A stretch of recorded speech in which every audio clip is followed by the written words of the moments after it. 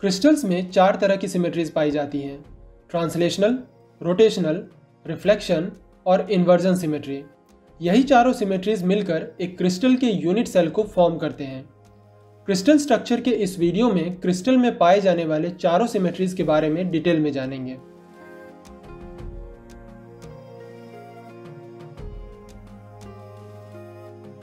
सबसे पहले बात करते हैं ट्रांसलेशनल सिमेट्री की।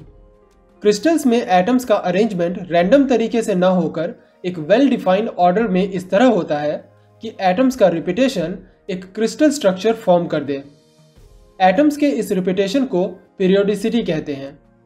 पीरियोडिसिटी का मतलब है कि हर एक डिस्टेंस के बाद एटम या एटॉमिक स्ट्रक्चर खुद को रिपीट करेगा।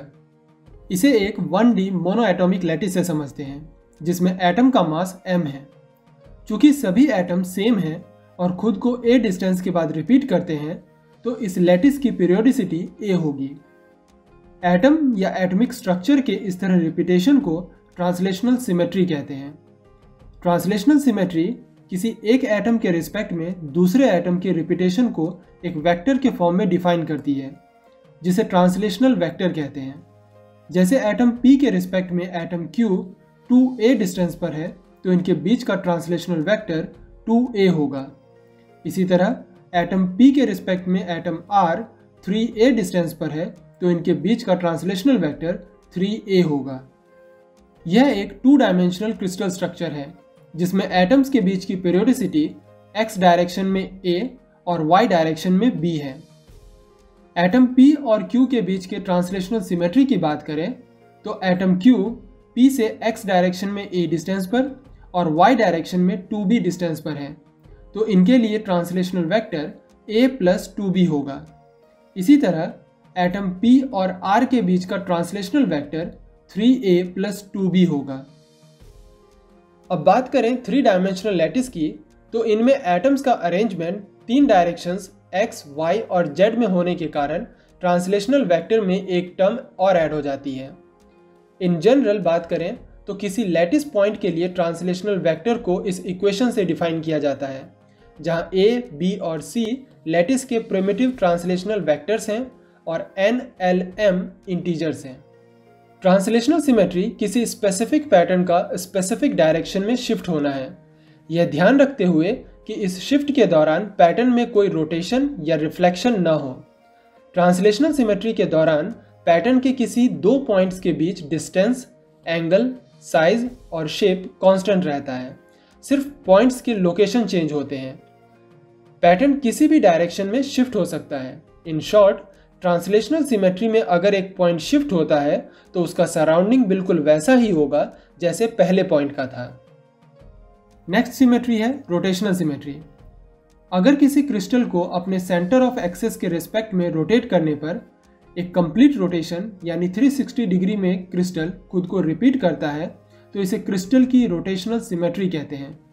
जैसे कि एक ट्राइंगल एक ट्राइंगल को अपने सेंटर ऑफ़ एक्सेस पर 360 डिग्री रोटेट करने पर, यह हर 120 डिग्री के बाद खुद के स्ट्रक्चर को रिपीट करता है। इसे ट्राइंगल की रोटेशनल सिमेट्री कहते हैं।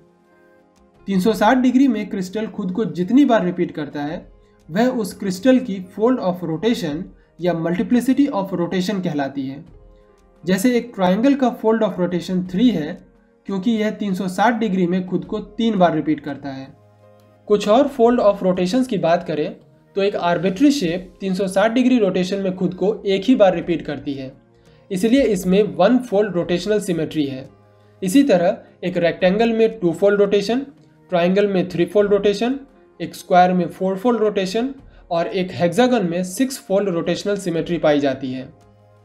फाइव फोल्ड या सेवन एट या higher fold rotational symmetry exist नहीं करती। इसकी वजह है क्रिस्टल में पाए जाने वाली ट्रांसलेशनल सिमेट्री। इस सिमेट्री के अकॉर्डिंग, किसी क्रिस्टल में यूनिट सेल का रिपीटेशन कुछ इस तरह होना चाहिए कि उनके बीच किसी तरह का कोई वैकेंट स्पेस ना रहे। केवल ऐसे क्रिस्टल के लिए ही ट्रांसलेशनल वेक्टर्स डिफाइन किए जा सकते हैं। बात करें फाइव फोल्ड रोटेशन की तो इसके लिए यूनिट सेल पेंटागन होगा। लेकिन जब किसी पेंटागन यूनिट सेल को साइड बाय साइड अरेंज करते हुए क्रिस्टल फॉर्म करते हैं तो यूनिट सेल्स के बीच वैकेंट स्पेस रह जाती है, जिसकी वजह से ऐसे क्रिस्टल्स के लिए ट्रांसलेशनल वेक्टर्स डिफाइन नहीं किए जा सकते। यही वजह है कि five fold rotational symmetry exist नहीं करती। हायर फोल्ड रोटेशनल सिमेट्री के एग्जिस्ट नहीं करने की वजह भी यही है। नेक्स्ट सिमेट्री है रिफ्लेक्शन सिमेट्री अगर टू डायमेंशनल लैटिस से होकर कोई लाइन या किसी थ्री डायमेंशनल लैटिस से होकर कोई प्लेन इस तरह ड्रॉ किया जाना पॉसिबल हो जो लैटिस को दो हाफ्स में इस तरह डिवाइड कर दे कि दोनों हाफ़ एक दूसरे के मिरर इमेजेस हो तो इसे रिफ्लेक्शन सिमेट्री कहते हैं। इसे एम से डिनोट किया जाता है। अगर लैटिस से होकर एक लाइन ड्रॉ करें, जिससे लैटिस दो मिरर इमेजेस में डिवाइड हो तो इसे सिंगल एम से, और अगर दो लाइन ड्रॉ किया जाना पॉसिबल हो तो इसे डबल एम से रिप्रेजेंट किया जाता है। कई बार लैटिस में रोटेशन और रिफ्लेक्शन एक साथ पॉसिबल हो सकते हैं। ऐसे में इसे रोटो रिफ्लेक्शन सिमेट्री कहते हैं। इस तरह रोटेशनल सिमेट्री दो अलग अलग तरह से पॉसिबल हो सकती है। एक रोटेशन विदाउट रिफ्लेक्शन और दूसरी रोटेशन विथ रिफ्लेक्शन। इनके पॉसिबल कॉम्बिनेशंस टेन हो सकते हैं, जिनमें से पाँच विदाउट रिफ्लेक्शन है, जिन्हें प्योर रोटेशन भी कहते हैं, और पाँच विथ रिफ्लेक्शन है, जिन्हें रोटो रिफ्लेक्शन कहते हैं। फोर्थ क्रिस्टल सिमेट्री है इन्वर्जन सिमेट्री।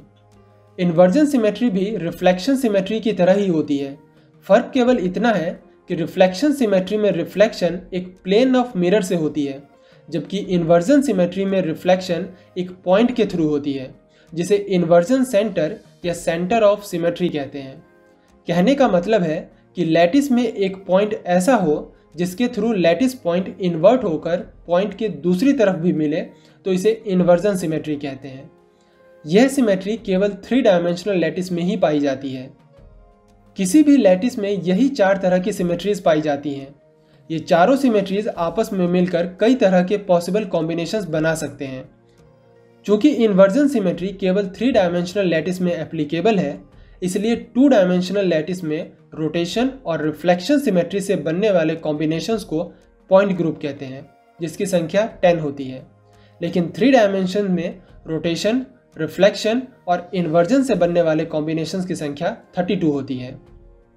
वहीं अगर इन कॉम्बिनेशंस में ट्रांसलेशनल सिमेट्री को भी ऐड कर दें तो इसे स्पेस ग्रुप कहते हैं। कहने का मतलब है कि चारों सिमेट्रीज से बनने वाले कॉम्बिनेशंस को स्पेस ग्रुप कहते हैं, जिसकी संख्या टू डायमेंशंस में 17 और थ्री डायमेंशंस में 230 है।